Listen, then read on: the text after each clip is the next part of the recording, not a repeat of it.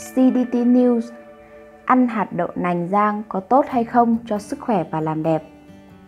Nó là món ăn khoái khẩu của bạn, nhưng liệu rằng ăn hạt đậu nành rang có tốt không? Bạn sẽ có lời giải đáp ngay sau đây để có cách sử dụng đậu nành hợp lý nhất. Bạn thường nghe người ta nói rằng uống sữa đậu nành đều đặn sẽ mang lại nhiều lợi ích cho sức khỏe và sắc đẹp. Nhưng bạn có biết, ăn đậu nành cũng có nhiều tác dụng. Ăn hạt đậu nành rang có tốt không là câu hỏi mà chúng ta hay thắc mắc nhất. Vậy, để giúp bạn sử dụng đậu nành hợp lý, bạn hãy tham khảo bài viết này để tìm ra lợi ích tuyệt vời mà nó đem lại nhé. Ăn hạt đậu nành rang có tốt không? Hạt đậu nành hay các chế phẩm khác từ đậu nành đều rất tốt cho sức khỏe con người, mà trong thực tế đã chứng minh và các chuyên gia dinh dưỡng đã kết luận. Chính vì điều này mà bạn thấy hiện nay hạt đậu nành rang, đậu hũ, sữa đậu nành đều được đông đảo mọi người tiếp nhận.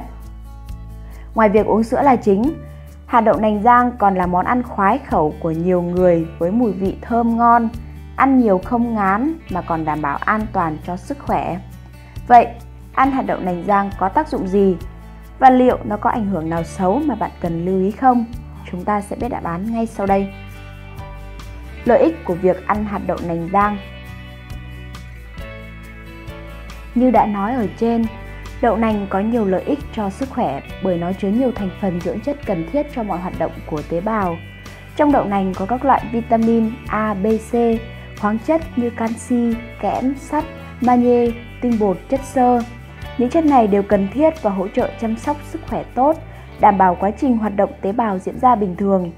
Nhờ các dưỡng chất kể trên, ăn đậu nành rất tốt cho hệ tim mạch, nó hỗ trợ điều hòa huyết áp, loại bỏ cholesterol xấu, ngăn ngừa các bệnh về tim như sơ vữa, tắc nghẽn động mạch, hạn chế nhồi máu cơ tim, đột quỵ ở người già. Đồng thời, nó còn giúp hệ tim mạch hoạt động tốt hơn. Đối với người trong giai đoạn tiền mãn kinh, sẽ giúp cân bằng hormone sinh dục nữ, hỗ trợ cải thiện lão hóa da, rụng tóc, suy giảm trí nhớ và mất ngủ thường thấy. Bởi vậy, ăn đậu nành thường xuyên sẽ giúp bạn đi qua thời kỳ tiền mãn kinh một cách dễ dàng. Hạt đậu nành rang hay các chế phẩm khác đều có tác dụng cung cấp canxi cho xương chắc khỏe hơn, ngăn ngừa tình trạng lão hóa xương, loãng xương khi về già, đặc biệt là đối với chị em phụ nữ.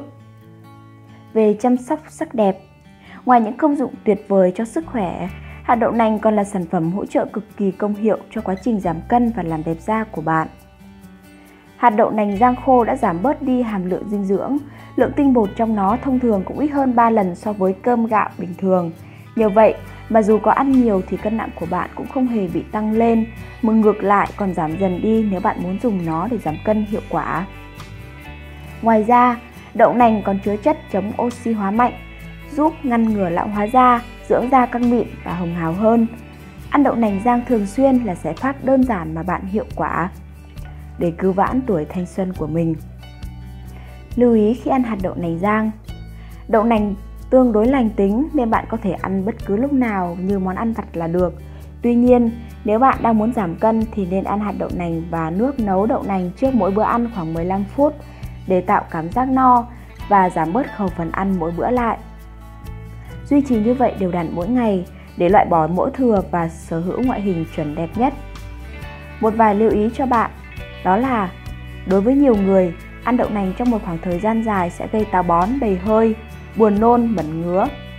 Vì thế, bạn đừng nên lạm dụng đậu nành trong thời gian dài để đảm bảo cho sức khỏe nhé.